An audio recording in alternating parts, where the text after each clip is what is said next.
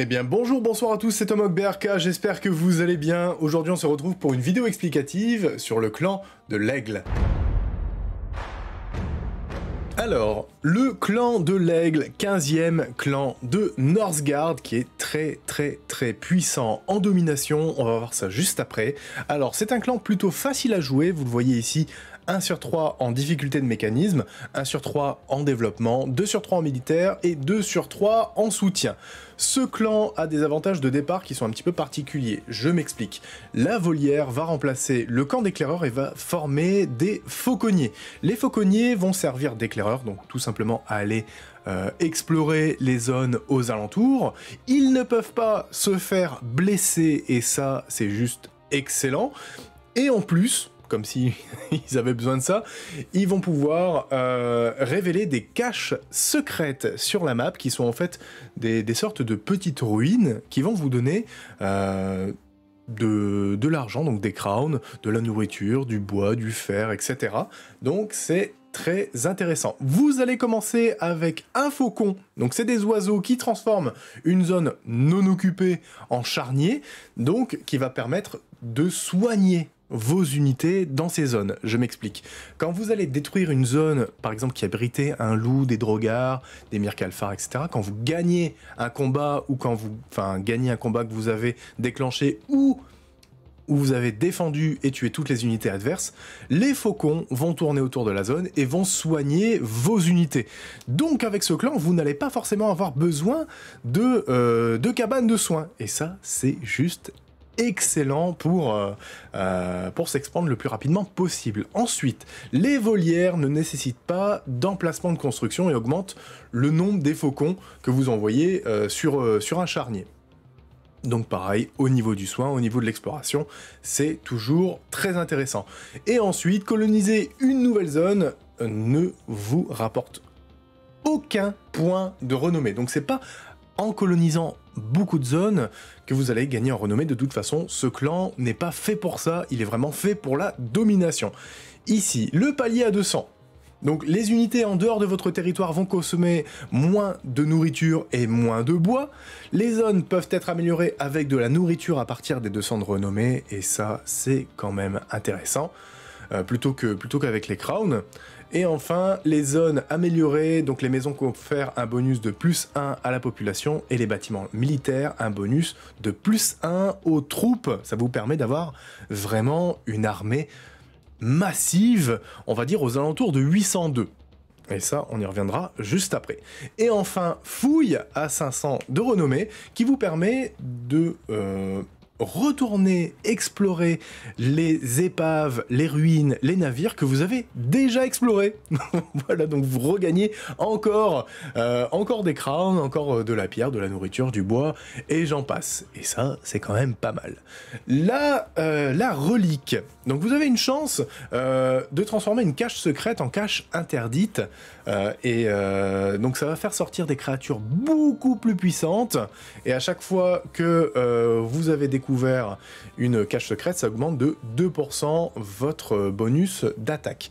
Très intéressant quand vous jouez à plusieurs et quand une partie, on va dire, s'éternise, mais vous n'allez pas forcément en avoir besoin si jamais vous souhaitez rush le clan adverse. Et les particularités du clan, donc on a parlé des faucons, donc qui récoltent des ressources dans les charniers, Griff, qui est votre chef de guerre, qui frappe très fort, mais frappe plutôt lentement, les volières, donc qui remplacent les camps d'éclaireurs, donc forcément les fauconniers. D'ailleurs, les fauconniers peuvent explorer une ruine euh, ou une cache secrète, les épaves, etc., sans que vous ayez besoin de coloniser la zone. Et ça, c'est pas mal. Ici, les caches secrètes, donc on en a parlé tout à l'heure, la cache interdite, les charniers, donc qui vont vous soigner au cours de la partie, et le sac à butin, à chaque fois que vous allez, c'est plutôt un pourcentage de chance en fait, quand vous allez bien défendre une zone ou quand vous allez euh, nettoyer une zone adverse, vous allez avoir un pourcentage de chance de trouver un petit sac qui va vous donner de la nourriture, du savoir, du bois, du fer, euh, de la pierre, etc. Donc c'est plutôt pas mal dans les premières années. Sur ce, on part tout de suite en partie pour vous montrer un petit peu comment se joue ce fameux clan de l'aigle. Alors pour commencer, comme d'habitude, une petite volière. On va commencer uniquement avec la volière. Pourquoi? Actuellement, nous sommes à plus 7 en nourriture et moins 1 en bois. On va créer deux fauconniers pour exploser et explorer, pas exploser, explorer les zones limitrophes pour peut-être trouver une forêt qui nous permettra de ne pas construire euh, une cabane de bûcheron dans notre zone principale. Vous les envoyez ici sur les zones, vous les rapprochez ensuite du bord et ensuite vous allez explorer jusqu'au centre de la map pour trouver les 50 de renommée qui seront utiles pour vos différents paliers. Comme un exemple, vos 1000 mots, ici nous n'avons pas colonisé la zone, par contre notre fauconnier peut aller explorer la ruine tranquillement et nous générer ici des crowns et euh, différentes ressources. Nous n'avons malheureusement pas de forêt aux alentours, nous allons construire notre cabane de bûcheron ainsi qu'une maison. En ce qui concerne les savoirs, si vous avez proche de vous des zones particulières, commencez par récupération, donc qui permet d'obtenir 60% des ressources lorsque vous scellez des tanières de loup, des tombes de drogards, etc. Ici, nous n'en avons pas sur, sur la zone, tout simplement. Lui, il va aller là parce que c'est le centre de la map, faut, il faut y aller rapidement. donc, ce que nous allons chercher, donc dans un premier temps, ça va être Sentinelle, qui va permettre au fauconnier d'obtenir la compétence Surveillance. Surveillance, ça permet de euh, d'attribuer un fauconnier à une zone, permettant d'augmenter la capacité militaire de 15%, enfin la capacité, la, puissance militaire de 15% et la production de 10%.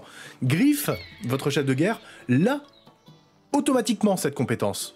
Donc, euh, très intéressant pour, euh, pour faire appel au faucon en combat. Ensuite, nous allons aller chercher L200, qui permet de protéger les unités alliées en aveuglant les unités ennemies grâce à nos faucons, et ça, c'est très très bien. Ça remplace en fait euh, l'ancien talent militaire de gauche qui était tacticien pour pouvoir esquiver des attaques ennemies.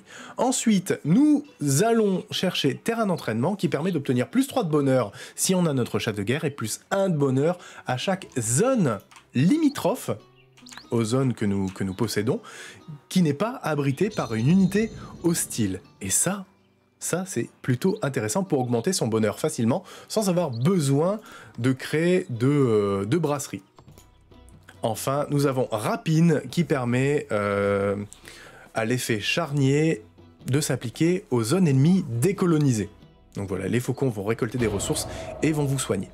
Ici, nous avons découvert le centre de la map on va continuer d'envoyer nos fauconniers explorer des zones et trouver des caches secrètes. Ici, on a l'information que cette cache contient 80 de nourriture, 50 de crown et 3 de fer.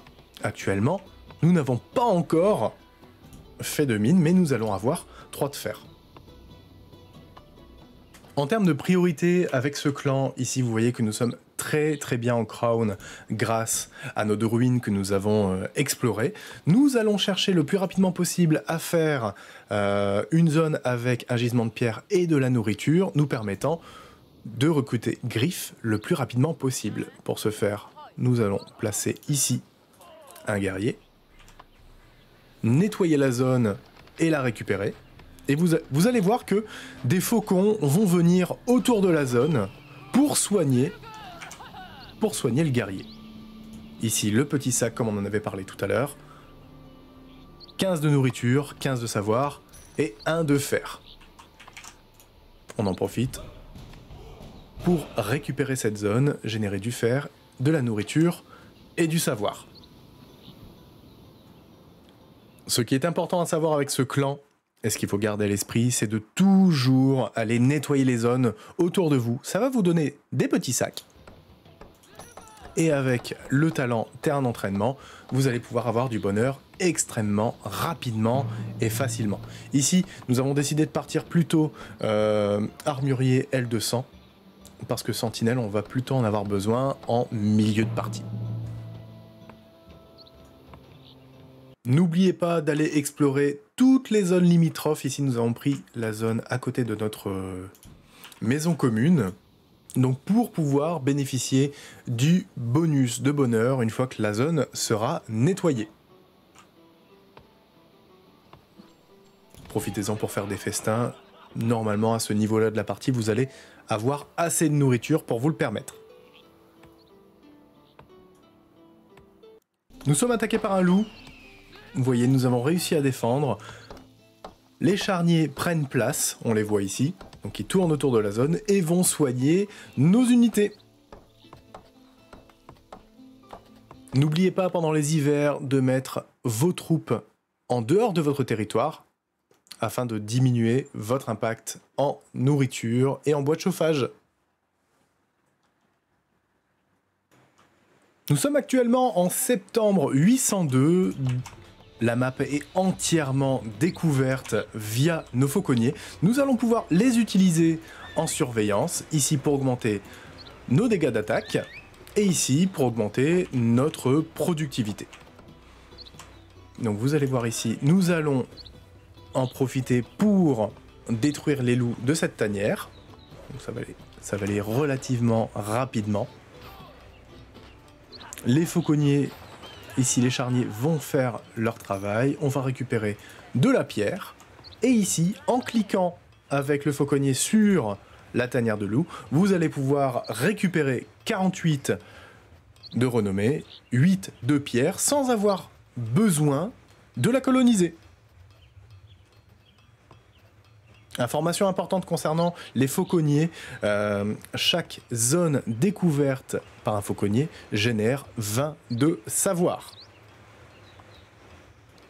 N'oubliez pas qu'à partir de 500 de renommée, vous pouvez envoyer vos fauconniers réexplorer les ruines et épaves aux alentours que vous avez déjà explorées. Profitez-en. Ici, nous avons récupéré 100 crown et 50 de savoir.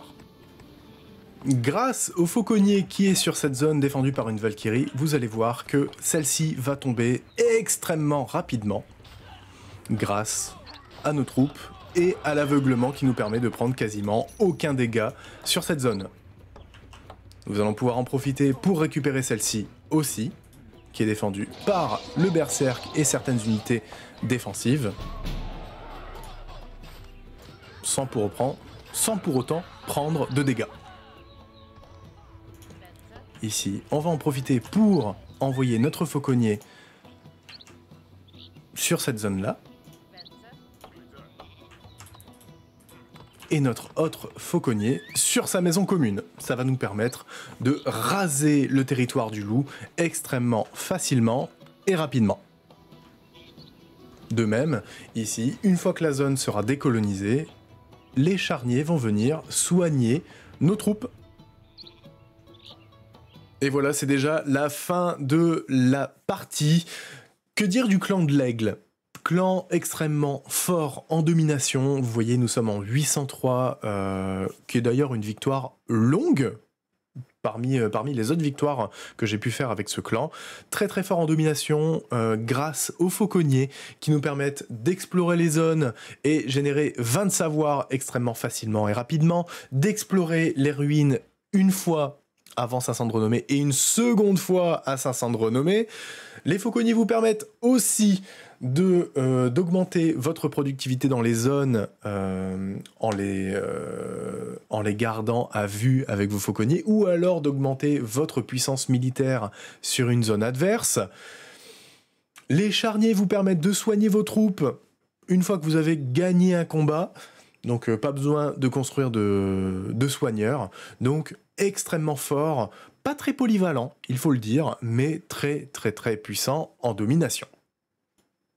C'est déjà la fin de la vidéo explicative sur le clan de l'aigle. J'espère que celle-ci vous aura plu et vous aura intéressé, peut-être aidé. Si c'est le cas, n'hésitez pas à laisser un petit like, un petit commentaire et pourquoi pas à vous abonner. On est bientôt 600. Merci à vous, merci beaucoup. On se retrouve la semaine prochaine ou dans 15 jours pour une vidéo explicative sur le clan du lion qui vient tout juste de sortir. J'ai hâte hâte de vous en parler. Sur ce, je vous souhaite une bonne et agréable journée et vous dis